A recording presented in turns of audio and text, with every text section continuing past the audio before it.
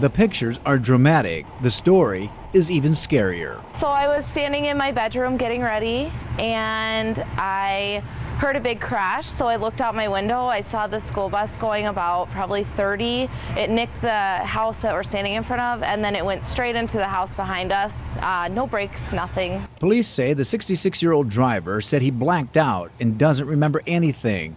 The bus veered out of control, taking out mailboxes before hitting the two houses. Crews had to shut off the gas to one of the homes because of a leak. The homeowner's fiance was in the house that suffered the most damage at the time of the crash. She heard a noise.